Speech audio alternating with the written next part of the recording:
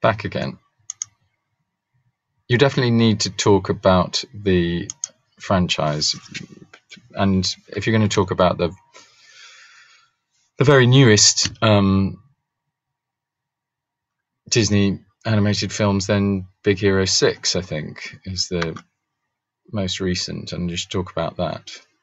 Um, okay, so you've dealt with your three films. Now you're talking about um, some analysis of them. That's fine. The um, Propp, but Propp needs a capital letter, and uh, it's absolutely fine to analyze Snow White in that way. But surely you need to offer some analysis of Beauty and the Beast along the same lines if you're going to. In Toy's Story, I mean, this is not, and Strauss spelt wrong. Uh, if you do Strauss's, then it's Strauss with a apostrophe.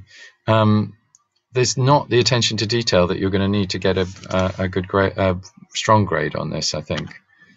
Um, don't know what's going on here, but it doesn't work for me. Um, now you should have dealt this dealt with this already, and I'd like a bit more uh, detail on when we see Pixar's caps. Why don't you have um, a clip from it embedded into the Prezi that you refer to as item four or six or whatever it might be, um, showing some of that the CGI that you're referring to here.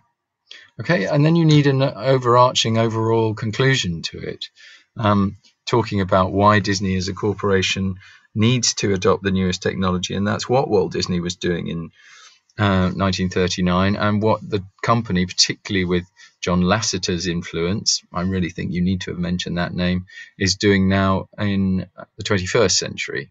So, more work to be done.